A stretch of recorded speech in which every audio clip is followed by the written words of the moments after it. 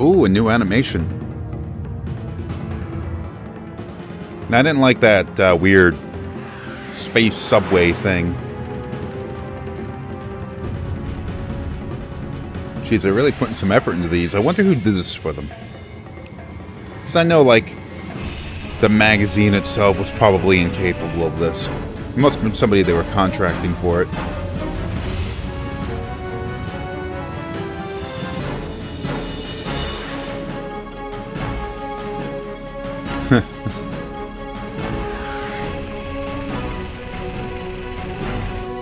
There's no pilot.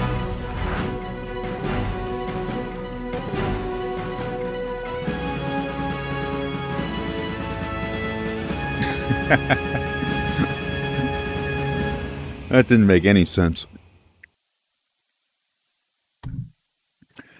We're in the 2000s now. Wow, Ballistic. Okay. I don't remember this game at all. Although it's kind of like um, Zuma. The it was Zuma was a game that was popular, like a flash game or a shockwave game, where you had a frog that was spitting out colored stones, and the stones would get matched up with other colored stones, and then you'd make them go away, and the stones were following a track. Oh, it is it is basically Zuma. Oh, jeez, there's no uh, there's no analog control with it. I mean, if I could have, uh, if I could just point the stick where I needed to go, that would be so great. But I don't have that. I have to. Um, I have to turn the thing.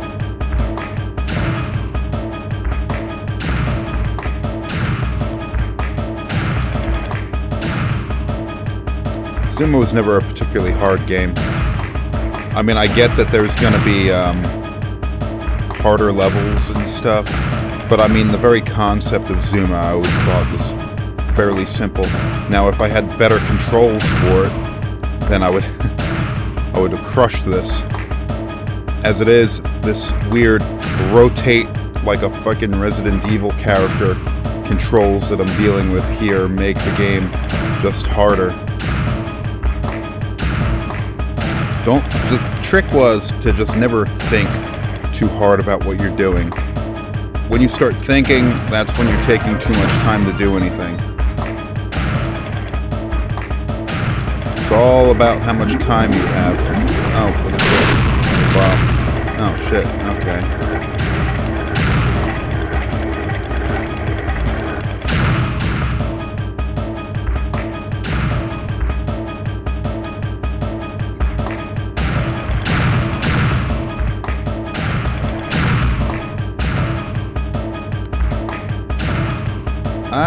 Don't. Am I trying to make all of the balls go away? Because they're going to constantly feed. I don't know if I can actually do that.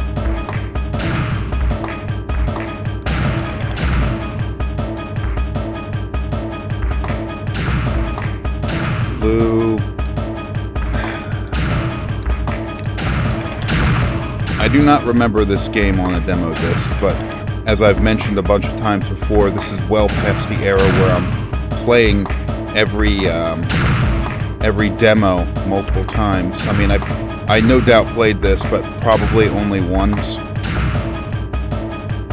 Yeah, I'm, I'm about to lose. I don't know, is it speeding up or am I just getting worse?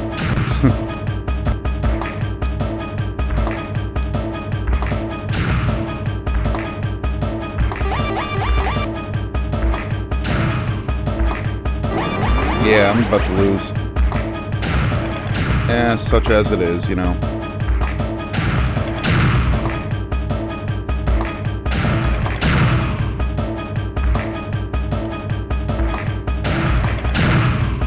Shit, didn't take that blue away. Yellow away, whatever. Oh, okay. Apparently I won. Or I lost. I don't know. Game over!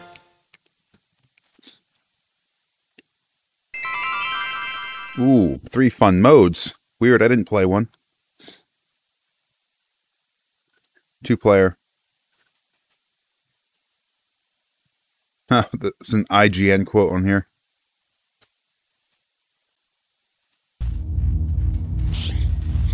International Track and Field 2000. What game are we playing here? Should have read those instructions. I have no idea what I'm about to do.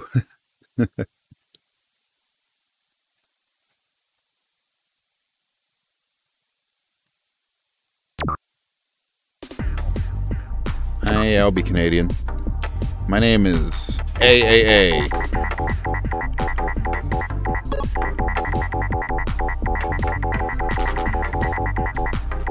Oh, ah, jeez. Should have went the other way.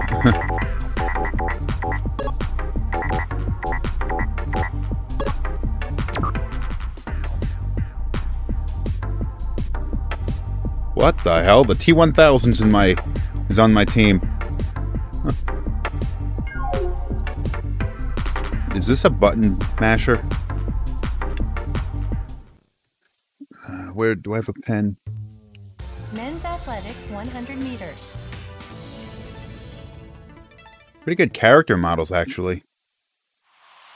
On your mark.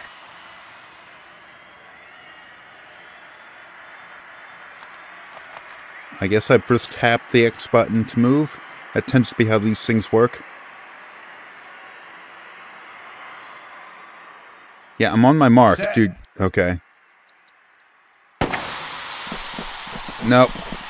Okay, I tapped the square button.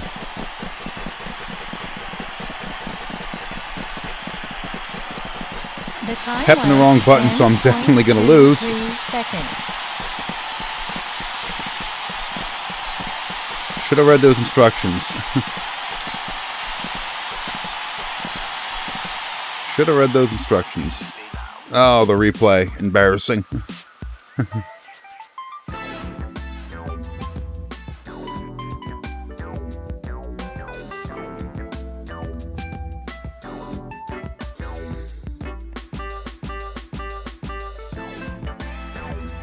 Ah, Canada's on the last in the starting line now.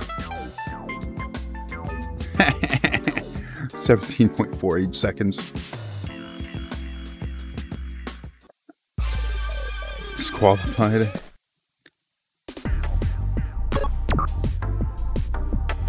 And what do we have next? Hammer throw.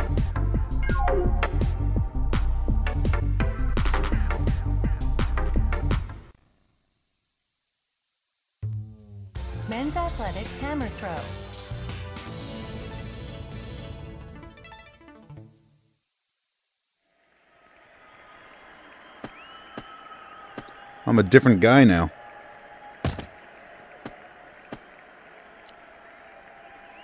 First attempt.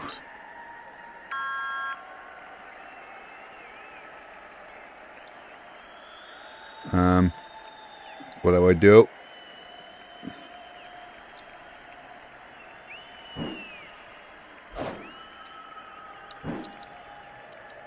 Oh, okay. I tapped square again. And I fucked it up. Second attempt.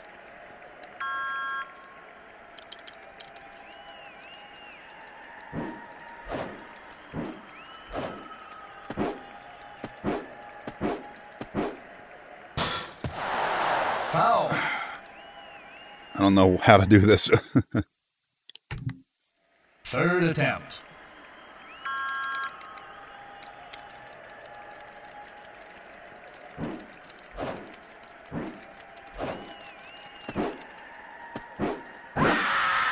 And I almost killed someone.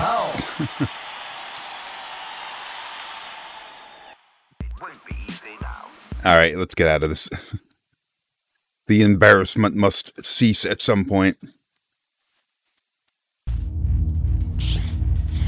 Tomb Raider Last Revelation.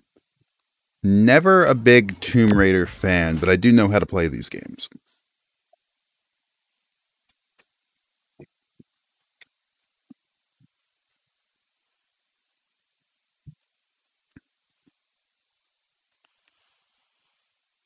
I remember when I was a kid. And the game that I had, like, what I'd wanted for my birthday or whatever the hell it was for a while was Doom. Didn't have a PC though. So the only way I could get Doom was to get the SNES version of Doom, which was a fairly expensive game. But, like, okay, so it was the one thing that I wanted. So I was able to get Doom. And I'm, uh, I finally, I finally, uh, we didn't have it. Oh shit! Where's our guns? There we go. Was finally able to get it. Shooting skeleton. But before we went home, we went over to a family member's house, and then, like, my cousin had a PlayStation.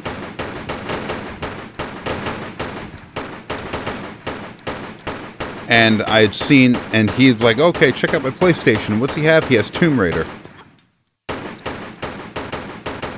and it just blew the crap out of the cheap ass version of Doom that I had gotten. Oh, she's about to die. Oh, nope, maybe not. Oh, okay. I don't know you who you are, but I'm gonna have to kill you. Oh, I guess not. Look at that, they have like a kind of a real-time lighting effect going on with that guy's torch.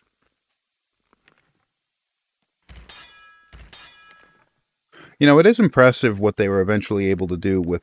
I mean, if you compare this um, this game to what uh, the original Tomb Raider was. I mean, gameplay wise, I don't I don't really know what the difference was because I know I must have played this demo, but Tomb Raider 2, I played a little bit of the first Tomb Raider, and then Tomb Raider 2 was the only one I really put any time with. Tomb Raider 3, I think I I must have skipped completely. And then there was this one. Oh, are you trying to kill me now? okay, fine. So I don't know what gameplay changes really there were, but it looks quite a bit better. I mean, just the detail on the character model. I mean, her ponytail and all that. Plus, she doesn't have, see, can't really get a view of it, but she doesn't have weird angular boobs the way that she did in the original. Ah, okay, so this has got to be the way through. Control's still a pain. I mean, I wish they could have figured out a way of doing a dual analog stick control.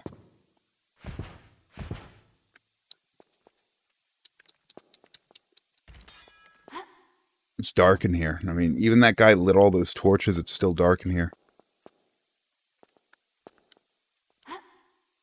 Oh my god, the controls do suck. It's basically tank controls, only the camera follows you. So you push left, you push right, you do all that crap. There we go.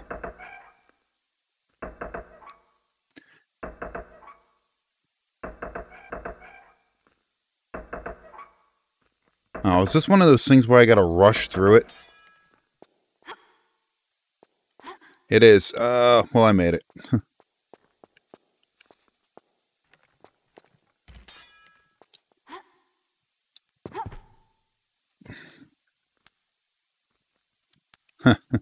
Why aren't you using your legs? there you go.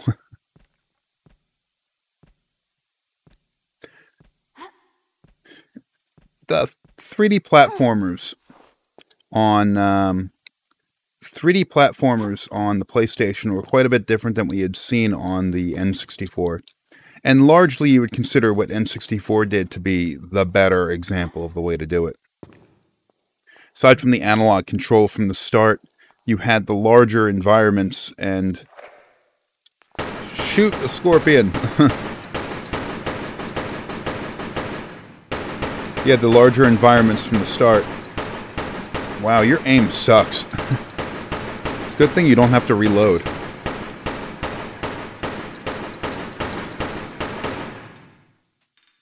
There you go.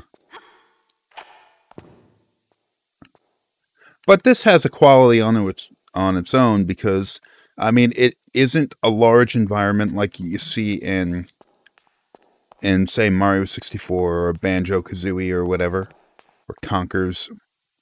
But the environment is is more packed with detail and there's more stuff to climb over.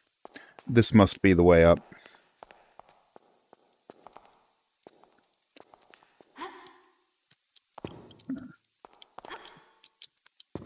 Oh, okay.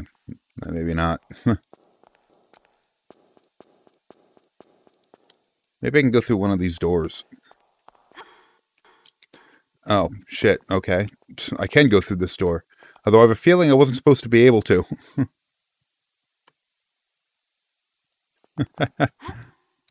yeah, I think I'm stuck. I just ran into a bug.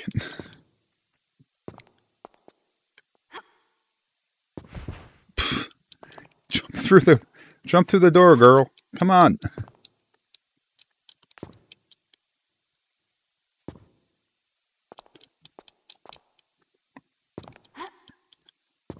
Jeez. The tech it's not just the the geometry rendering. I mean the the texture detail on her is a lot better than in the first one. And the environment too. That's not like I mean, I do see a lot of repeating textures. Not that I can get through this door again. uh, but it there's more varied texture detail than just the uh, stone walls and stuff that you saw in the first game. All right, I'm stuck. All right, well, I guess maybe I should bring this one to an end then. oh, that was embarrassing. Up, flare. Up, yep, real time lighting. Oh, you know what? Tomb Raider 2 had that too, with the flare. And I could drop it in places. So it was procedural. Not that the real time lighting we're looking at here is similar to the real time lighting that we've seen that we see in modern day games, or even like Silent Hill 2. I, I guess it was relatively similar to Silent Hill 2, or 1 for that matter. It seems to disappear when we jump at it. But it, um, still impressive for a PlayStation 1 game. Alright, get out of this. I hope I don't have to restart the recording. Eh, I guess I will. All right, moving on. MTV Sports Snowboarding. There were a lot of these kinds of games at the time, as I've mentioned in every other demo disc over the past year or whatever that released in that year. Because, I mean, every one of them, hey, THQ, every one of them seems to have some sort of extreme sports game snowboarding, skateboarding, BMX, whatever. MTV, I don't remember them doing a lot of games though.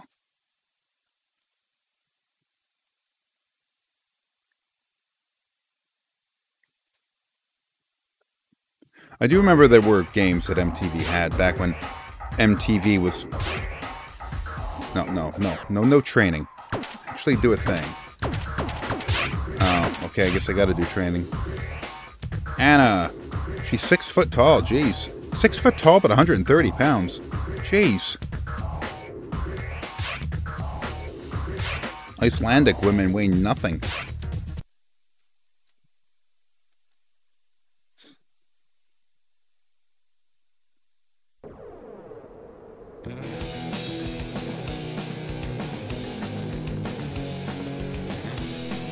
Ah, you know what? It. I mean, the character model looks like crap, but I mean, I am looking at a 3D environment. What I keep bringing up every time we play one of these, oh, the animation was terrible, and the and the environment keeps warping. Oh man, the game is mip-mapped the hell. what I keep bringing up every time there's one of these games to play is I compare this to the Extreme series. Extreme or 2 Extreme is the one that I have more experience with, where you have an early PlayStation 1 example of this kind of game where you have a completely 2D set of characters and it's a completely flat plane that you're running the game on and you have nothing but sprites as obstacles. 2D objects, anyway, as not really sprites, I guess. But that's and that's probably. I mean, it must have seemed impressive at the time because the SNES couldn't really do crap like that. Mode Seven graphics are like all that you could really get out of the SNES. and something like the Extreme games were an improvement over that. But this is such a huge leap over that because it's not a 2D flat plane anymore. It's a 3D environment, 3D uh, polygonal characters. Even a crappy one like we're looking at here is much better than the the on uh, the sprite that doesn't have a lot of animation you've seen in 2 Extreme. This is some trashy MTV game, and it managed to pull off better than what I'm sure must have been a Sony first party studio. Oh, wait, I just hit replay. MTV, THQ, Rad, THQ, MTV again. All right, let's get out of this. But like, this is just some stupid MTV game, and it managed to do something better than a Sony first party would have. I know 989 did 3 Extreme. I don't know if that was the same studio that did 2 Extreme. I'm not sure what the lineage of the 989 studios were. Tomba 2, The Evil Swine Returns. I don't know what this is. I remember the Tomba series. I don't remember playing them, but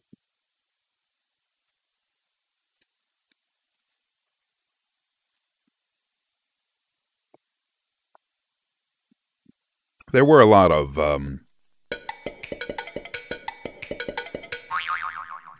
there were a lot of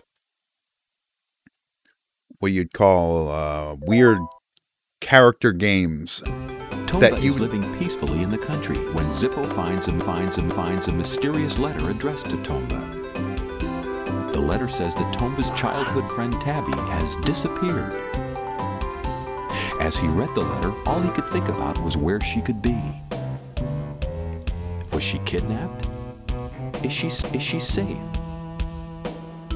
Uh, okay, that's enough of that. that was goofy as shit. I don't need to see it.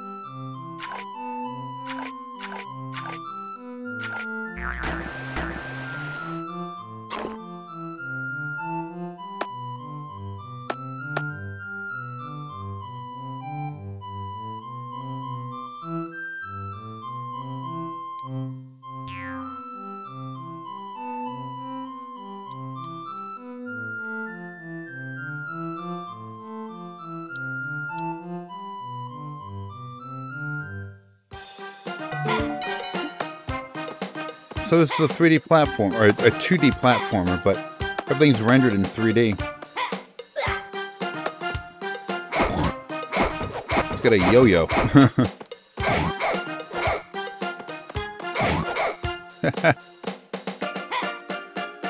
Do I jump on one? This game's stalling a lot, it's doing a lot of hitching. This is actually a little... Oh, okay, I can move between planes.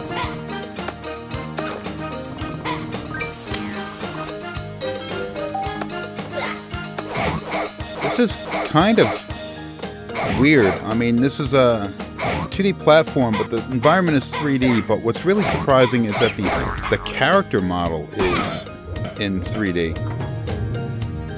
Now, I usually think about 2D platformers on a 3D environment is sort of like what Klonoa did at the time, where you had. Uh...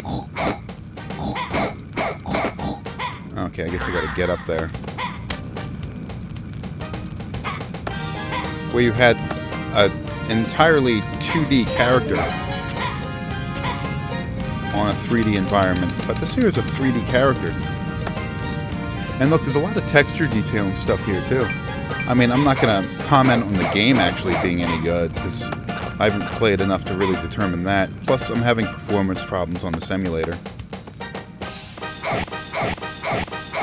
Oh my god.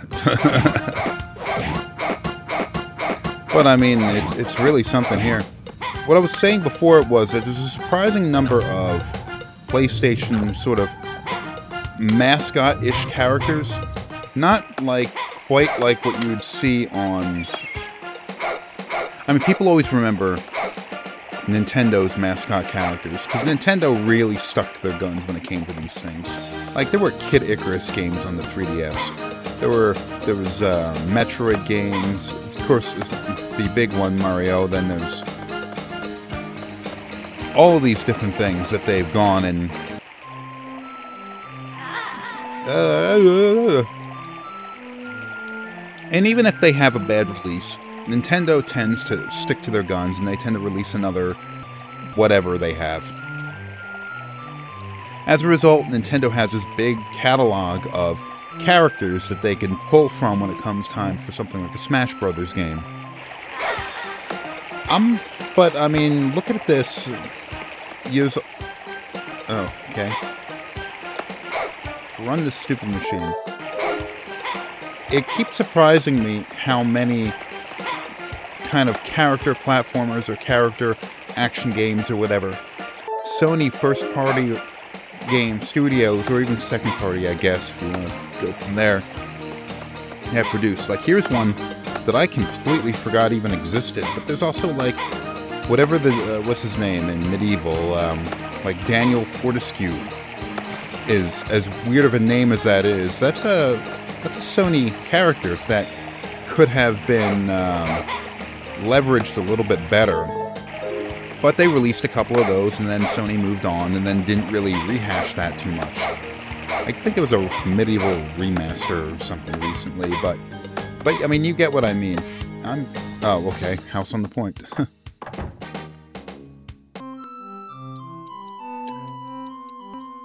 but there's a lot of these kinds of things that Sony just it's not memorable like the Nintendo characters, really just because they didn't really rehash these things. I'm sure if there was a Tomba game for the PS2, and then a Tomba game for the PS3, and then a Tomba game for the PS4, people would remember it too. Even if there were lots of, um, even if some of them were bad.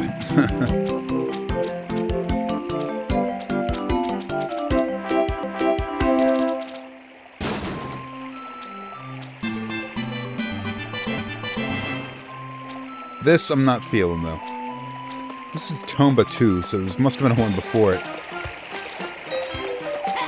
Oh, a boomerang. Uh,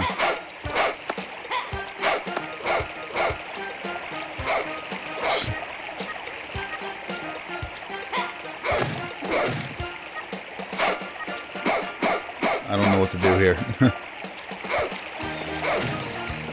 Bash those fish. Alright. I think I've gotten the point here. Whatever I gotta do to get past this, I don't really want to do it.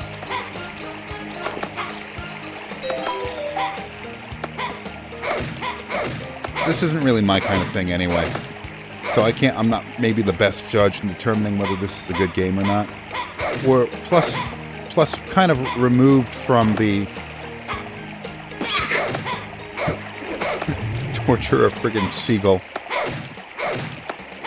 Maybe not the best person to judge whether a character platformer like this is a good game or not, but anyway, moving on.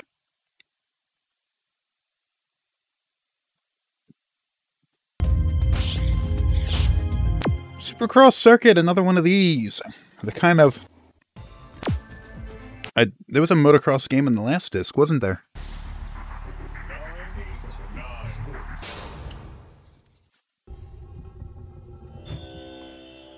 Idol Minds. I remember that name. They must have done a couple of things that I, of note. Okay, now I I own a dirt bike. I ride a dirt bike. I think it's fun. I don't really want to watch guys do it on a track in a football stadium. Although, once again, this is another example of this kind of game wasn't really possible before. So, I mean, I can look at this, going through these, the multiple years worth of demo discs, from the first one I had up until this, do see a pretty significant change in the sort of quality of the games, as I've mentioned a million times.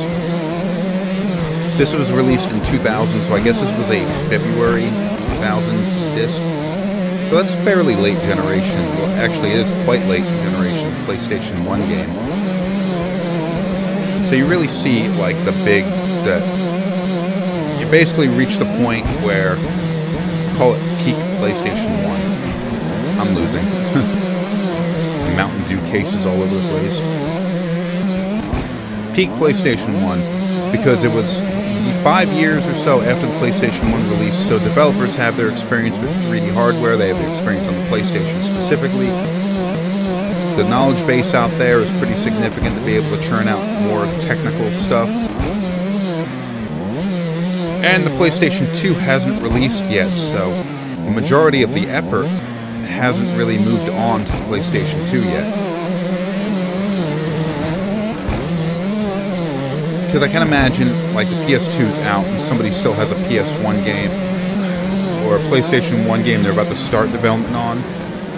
But, like, a studio or a, a publisher isn't going to want to dump a lot of money into releasing a game for an old platform. I mean, the PS1 sold a lot of machines, but it wasn't the big new hotness. 2000 was probably like the peak PlayStation 1 year, and it does show.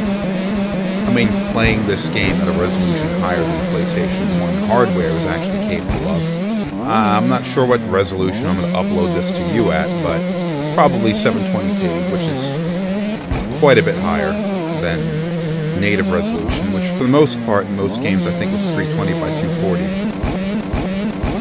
There were different uh, modes, but I think most games were 320 by 240. Wow, this is really hitching. I run into a lot of problems like this while trying to play uh, demo discs on an emulated PlayStation because the anybody who's done a lot of emulator stuff knows you have to tweak little things in the game in the emulator settings in order to make any particular game run properly. But with a demo disc, there's like six games, six different games. Each one's got a different game engine. Each one's got different needs and all that. So, plus I don't play these discs. Load this up and start doing my thing.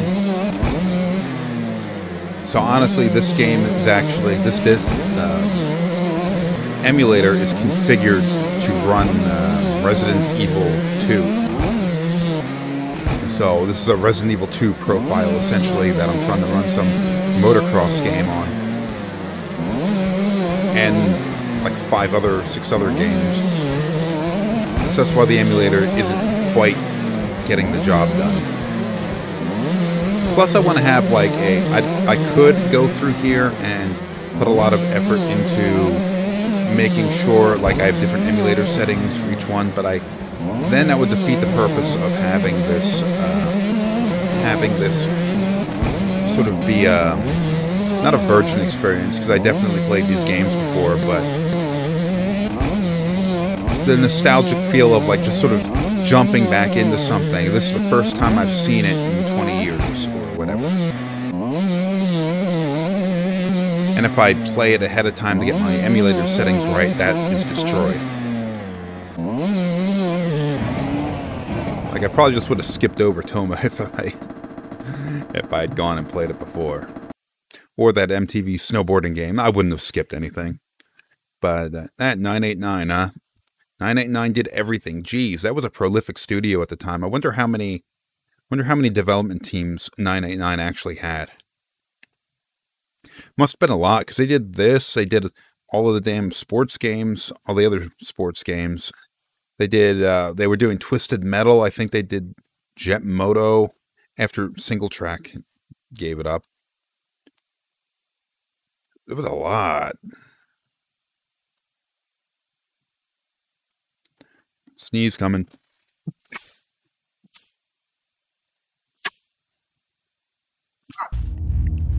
I could edit that out, but I'm not going to bother. Medal of Honor, really? I had a demo of Medal of Honor? Ah, shit, it's a video. Ihre Papiere, bitte. Your, your papers, papers, papers, papers, please. Oh, this is hitching. Aber Sie haben Ihre Granate vergessen. Excuse me, but you forgot your grenade. Der Amerikaner hat Hundekuchen in der Tasche. The American has dog biscuits in his pocket. Rennt um euer Leben. Er hat eine Panzerfaust. Run for your lives. He has a bazooka.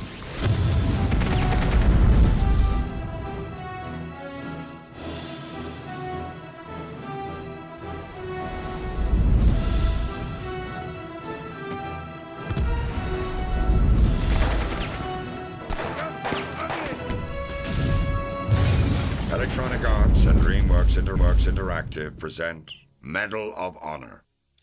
Medal of Honor. Essentially, the for your finest hour. best example of what a first person shooter game ended up being on the PlayStation 1. Medal of Honor 2 was a little bit better, but Medal of Honor was really like the standard torchbearer for that console. I'm gonna stop here and talk about Medal of Honor for a little bit. I should I should play that game for like a quick play or something in the future, since there's clearly no demo of it here. But mm, I mean, you had um, first-person shooters, of course, on the PlayStation One before Medal of Honor. There were the Doom ports, and actually, like Doom on the PlayStation One was actually a pretty good game. But there were other things like PO'ed and and whatever. But people tend not to think of the PlayStation 1 as being a first person shooter machine. And the thing everybody keeps jumping over to was GoldenEye, the uh, James Bond game on the N64, which I guess really released a year or two before Medal of Honor did. I'm not sure. I'll have to look that up. And by look that up, I mean I'll forget to and not bother.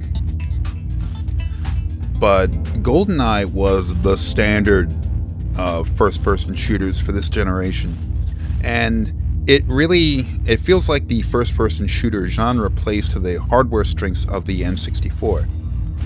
But then Electronic Arts comes out with Medal of Honor and shows, you know what, there's a different way of doing this.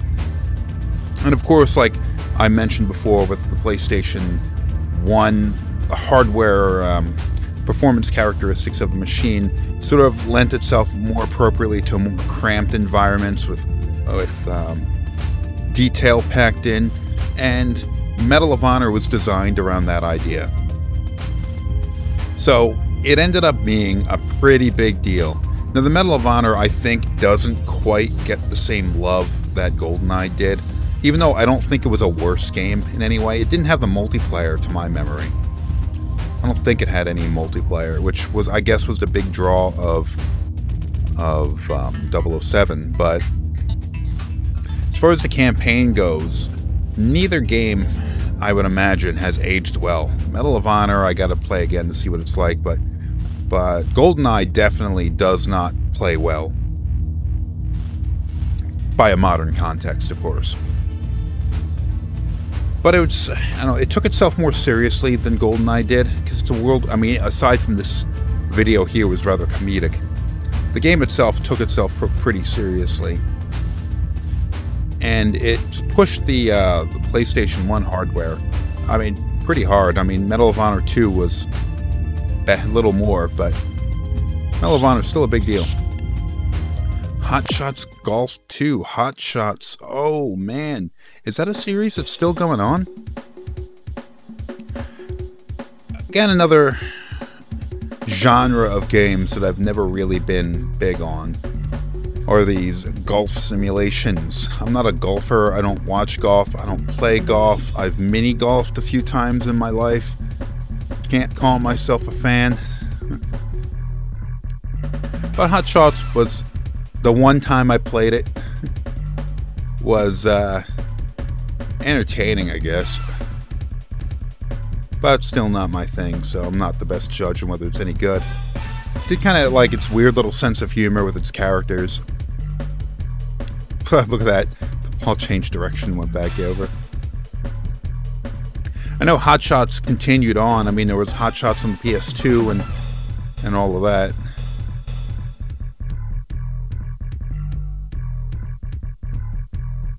I'd actually forgotten that the Hot Shots series started on the PS1. I tended to think of it as a PS2 game. I mean, this is just a video, but the uh, the video, the graphics look pretty good in the video.